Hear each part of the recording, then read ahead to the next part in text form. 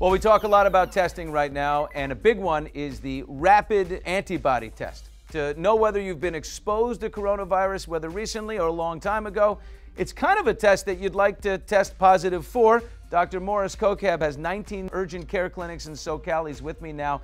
How important is this test for you, and how does it affect your relationship with hospitals? Because you're sort of a frontline guy. As opposed to swab testing, which is what, what we look for viral genetic material and tells us if they have the illness or not. Serology testing is quite different and tells us three important pieces of information. One, which stage of the illness the patient is in or have they had a past exposure.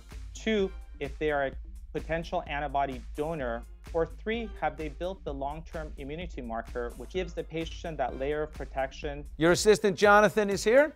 He's arrived and he's gonna he's gonna conduct a test. We're doing a simple pinprick and getting a drop of blood. Beautiful droplet. He dropped it right in there. Takes about five minutes and lets you know. All right, Jonathan now is going to put the test on Dr. Armand Dorian. And now the pinprick. Doctor, thank you. Jonathan, thank you. The tests have been taken. The results are later in the show. All right, we're back now with Jonathan and Dr. Morris Kokhab, and we've taken the five minute antibody test to see if we've been exposed to coronavirus recently or some time ago. Dr. Dorian took the test, I took the test. Jonathan, what do we got? So for Billy, For me, we have a negative test. negative, never exposed. I'm sorry to hear that, Billy. All right, then I got to keep, you know, aggressive hand washing and distancing and all that. Okay, and for Dorian, it's a negative test as well.